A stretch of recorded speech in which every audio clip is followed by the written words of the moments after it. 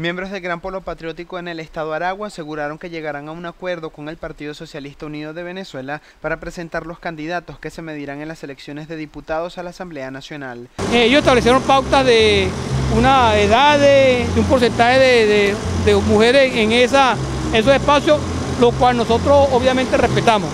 Ahora, estamos obligados a construir una alianza nacional que garantice la participación no solo de los partidos políticos, no solo de las fuerzas que estamos presentes en el caso de Aragua,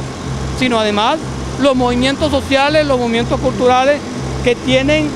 mucho que aportar en la construcción de un espacio de debate tan importante como es la Asamblea Nacional. Pedirán al PSV se establezca el funcionamiento rutinario de cada partido que conforma el Gran Polo Patriótico, además impulsarán el trabajo desde todos los sectores de la entidad. La necesidad del funcionamiento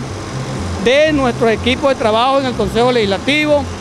la necesidad de coordinar tareas, establecer pautas de trabajo entre el Consejo Legislativo y la Gobernación del Estado de Aragua.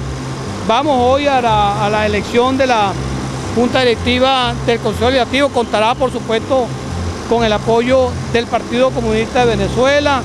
nuestra mm, solicitud de continuar trabajando